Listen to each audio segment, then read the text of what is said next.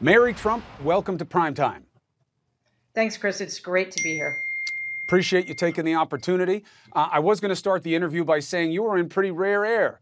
You had written something about the president that is certainly uh, critical in certain aspects, and he hadn't said anything back. That just changed moments ago. Uh, he lumped you in with John Bolton, referring to what he calls the Book of the Month Club. He calls John Bolton a lowlife and a dummy. Uh, you do well by comparison. He comes to you second. He says, Next up is Mary Trump, a seldom seen niece who knows little about me, says untruthful things about my wonderful parents who couldn't stand her, and me and violated her NDA, non disclosure agreement. She also broke the law by giving out my tax returns. She's a mess. Response. Uh, it's hard to know where to start. So um, let's start with the easy stuff first. A court ruled that I did not break the NDA, which is why I'm able to be here with you this evening. Uh, I never had Donald's tax returns in my possession, so I could not have released them to anybody. The documents I had were legally mine, uh, which I obtained through discovery during the lawsuit I was engaged in with my family almost 20 years ago, and were predominantly my grandfather's tax documents and his business's tax documents. Um, as for um, being seldom seen, I, I, guess for Donald that is uh, one of the biggest insults you can hurl at somebody. But I'm I've been fine with it. Uh, Why is it an insult for him? I think he thinks being seen is uh, something he values. So I'm not entirely sure. Do you know him? Have you been around him enough to form an opinion? Of course, he was uh, my dad's younger brother. We um, spent huge amounts of time in the house growing up, and um, Donald was there frequently. My uncle Rob was there frequently. My aunts. Um, so of course we spent every holiday together, um, pretty much until uh, my grandfather died in 1999. And after that? You know, it's it's hard to stay together as a family after you've been disinherited and there's been a fairly bitter lawsuit. So yes, uh, since 1999 there's been very little contact. But um, you know, before then, he hired me to write his book for him, his second book. Uh, so that doesn't exactly square with my not being part of the family or my not having any knowledge of him. And as for my grandparents not being able to stand me, um, I think if that were true, it would say more about them than it says about me. But uh, certainly in the case of my grandmother, it was not true. We were very close. I I really loved her and believed that she loved me.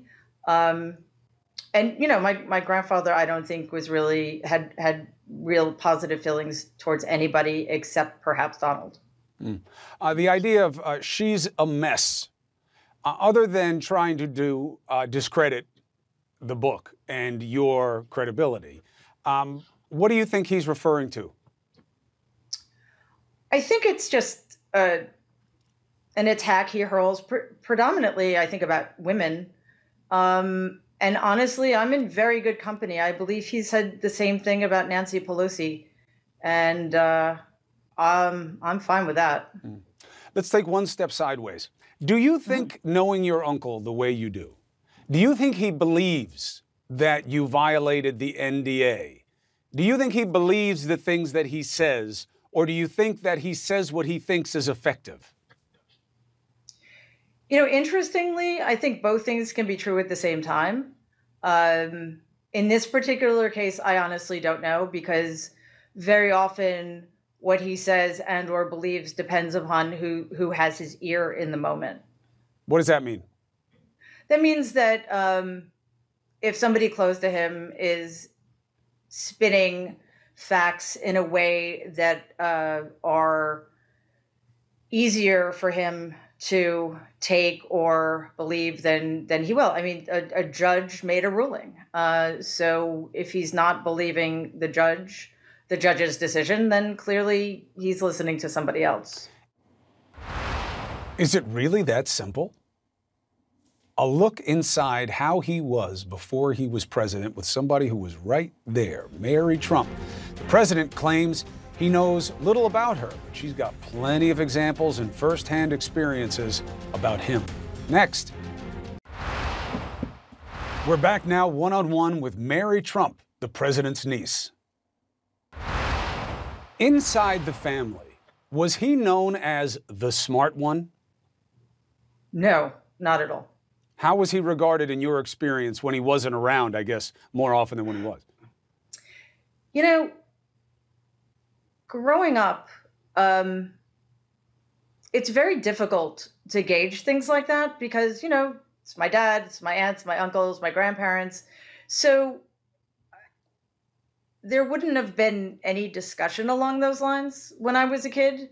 Um, what I did know with absolute certainty was that he was absolutely the preferred child.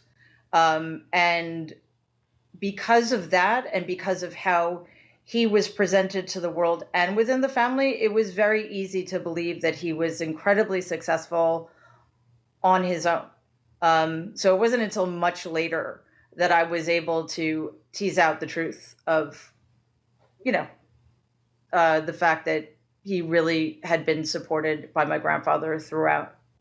You answered quickly when I said, Was he known as the smart one? You said no. Why such a quick assessment? Well, he hasn't changed much. Um, and I think, you know, if, if we only knew him now and extrapolated backwards, uh, it would be pretty obvious. Um, you know, he's not intellectual. He doesn't seem to have any um, interest in learning. Uh, you know, he has no intellectual curiosity, um, and being well educated does does not make you well informed. Hmm. Um, and when you were a kid and growing up, what do you remember about him in terms of bearing and how he was with you and others? He was supremely confident. Uh, he didn't have any reason not to be really. Um, he could be dismissive, you know. Um, he wasn't very interested in um, hanging out with us a lot. You know, we we would play ball in the backyard once in a while, but um, he had other more important things to attend to. I mean, we got along, you know, um, and he wouldn't he wouldn't have hired me to write his book if uh, you know, he had hated me um, or thought badly of me. Mm. So, but I think it is fair to say that um, we didn't really spend time together until I was working for him when I was in my 20s. A couple of things uh, that jumped out at me and look in the book. You know, I often, it always matters to me how somebody begins a book, not with uh, their material, but often what they have in a preface and a quote or something that suggests direction. You have a quote from Les Mis uh, mm-hmm. about when a soul is in darkness, yeah. sin may come, but the problem isn't the person who sins, it's the person who created the darkness. Yeah. What does that quote mean to you in the context of you and writing this book? Well, I, I think the reason I decided to use that quote ultimately was because it, it worked on two very important levels um, that fit in really nicely with what I was trying to convey in the book. Um, so, in the context of my family, the person creating the darkness was my grandfather.